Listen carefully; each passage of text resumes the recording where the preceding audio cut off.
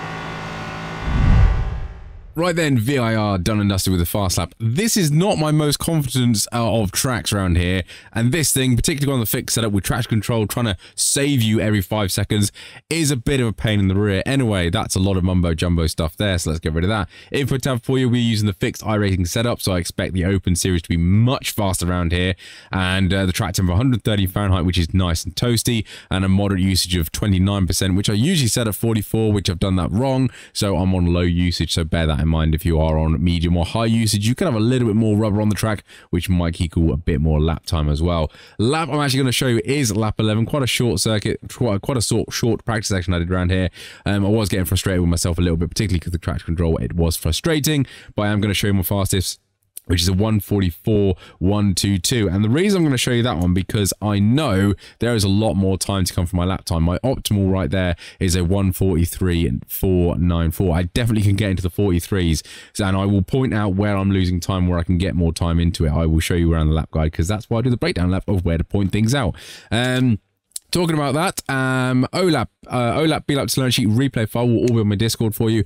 And I'm also using Garage 61, which is an online telemetry tool, which is very, very useful for these track guides. Uh, not affiliated with them, but I just think it's a very, very useful thing to have. Otherwise, I think that's about everything. Um, going to be an interesting week around here with open session and uh, the multi-class around here. It's quite a tight circuit. It is a big circuit, but it is quite tight. So I don't know how often we will come around to lap them. I'm guessing it's going to be like Road America in that respect, where we might only lap them once.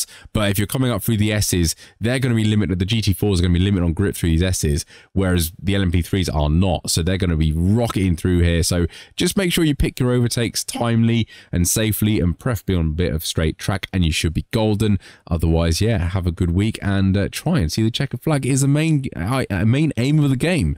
Um, yeah, enough of me waffling. Let's crack on with the guide.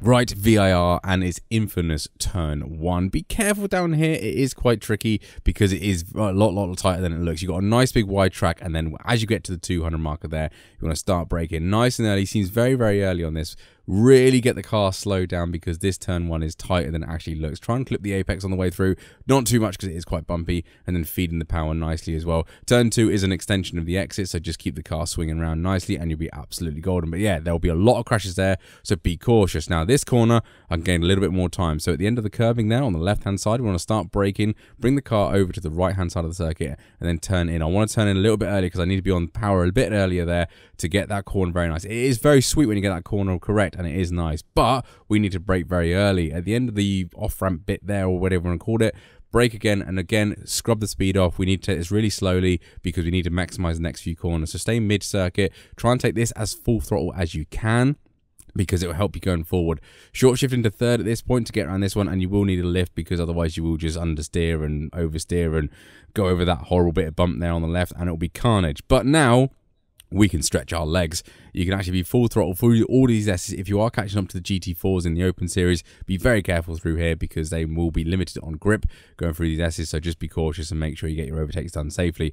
But all the way around that, and then as we come over the top, there is a little crest. As we go over the crest, then down, we want to start braking. Keep it in fifth gear, nice dab of the brakes, a little bit of curb, not too much because it's quite bumpy, and be careful of the exit there. Don't get on throttle unless you know you're going to get on the exit three marker here just on the uphill. Nice and easy to hit. Now i can gain more space here because look at my brake. I lift off the brake and i'm sort of not what i don't know I'm not sure what to do at this point because getting this corner wrong is so horrible. You see i take a little bit too much curb car's a little bit unsettled and i'm not on full throttle. So probably go a little bit faster in there stay on the brakes longer get the car slow down get it turned pin the accelerator and get out of there with a better exit because you'll carry all that speed all the way down here uphill. Slipstream will be a thing probably about when you get 0.5 behind and you'll get a good slipstream. Otherwise, we're looking for the two marker out there.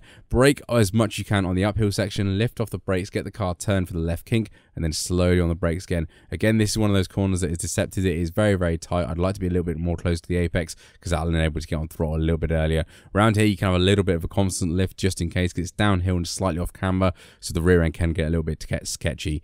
The curbing on the right hand side is our, uh, just that ends is our turning point for this one. Loads of curb on the left brake into the apex here. A little bit of a cheeky tickle on the curb there. And be careful about running wide. Do not run wide. You will disappear off into Narnia. And that grass out there is massive. And it takes about three years to come back to the track and try and find it that's kind of the motto about VIR. If you go off grass, if you go off track and go onto the grass, you are knackered. You are disappearing, and it is really, really, really big circuit. This is, to be honest, uh, off tracks as well. So yeah, bear that in mind as you're going around. But that's us across the line in a 144 122. Uh, as mentioned, I did record this when I was ill, so I'm slightly confident that people will be in the 43s quite quickly on the fixed setup, and I'm expecting high 41s, 42 in the open setup. The open setup will be much quicker around here, uh, given that long straight as well. They'll be quicker down there, and I think they'll have better downforce through the S as well.